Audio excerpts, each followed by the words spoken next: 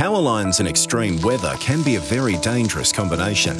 In 2011, the Victorian Government announced a $750 million power line bushfire safety program. Designed to look at ways of significantly reducing the risk of bushfires being started by electrical assets.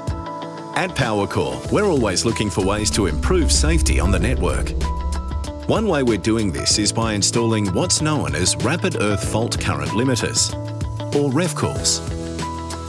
How does the REFCL technology reduce the risk of bushfire starts from fallen power lines? Let's take a look. When a power line comes into contact with the ground or a tree, the energy released can cause a large spark. The line can continue sparking if it remains live, increasing the potential for a fire. So acting fast is critical. The REFCL device is complicated, but basically works like a large safety switch on our electricity network. We install a monitoring device at our zone substation. This device checks the performance of all power lines leaving the substation, from the town centre to the furthest point. Power lines are typically grouped in lines of three.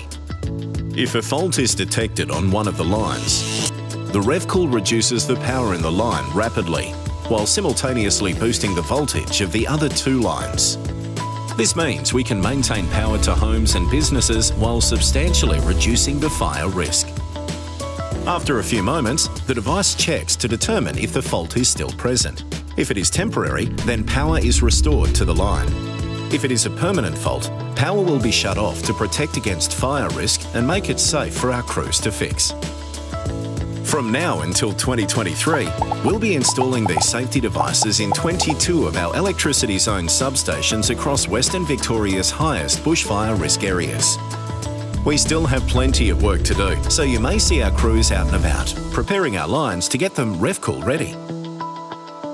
It's another way we're on top of things, working to improve the electricity network for the communities we operate in.